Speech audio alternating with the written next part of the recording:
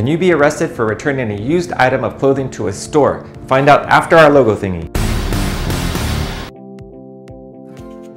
The short answer is yes, it is possible, so here's what the law is and how to stay out of trouble. The practice of buying clothing, wearing it once or twice, and then returning it to the store for a refund is called wardrobing. Yes, there's actually a word for that, and it costs retailers over $10 billion a year.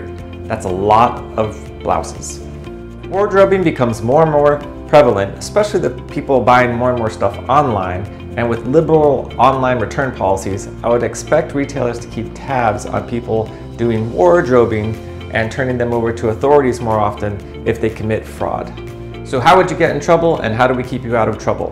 The criminal violation would be fraud and in uh, legal terms, fraud consists of four elements. The first element is a misrepresentation of a material fact by a person who knows or believes it to be false to a person or entity who is justifiably relying on them to tell the truth and an injury or damages to that person. So in normal English, fraud is when you lie to someone who's relying on you to tell them the truth and that you know you're lying and because of your lie, they are damaged. That light, you will not get in trouble if you comply with the store return policies, no matter how liberal. Most stores allow returns within a specific period of time if the clothing is still in new condition. And even if you lie to them, as long as you're complying with their store return policies, you're gonna be fine. Most people get in trouble when they lie about whether they had worn the clothes before.